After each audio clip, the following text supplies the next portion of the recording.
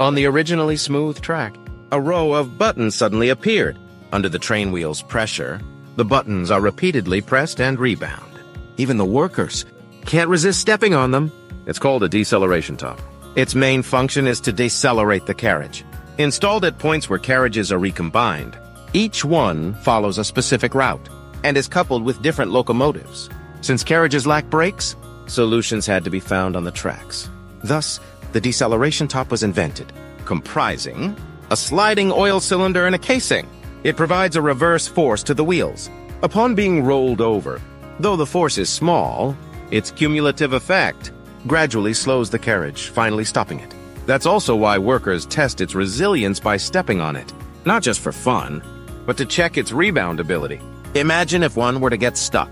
If it couldn't compress, the repercussions would be dire. Moreover, besides lacking brakes, the carriages also lack power and require external force to move.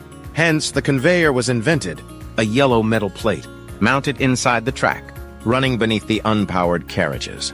Its own wheels propel the carriage until a deceleration top assists in braking, effectively completing the coupling process. Finally, isn't this quite remarkable?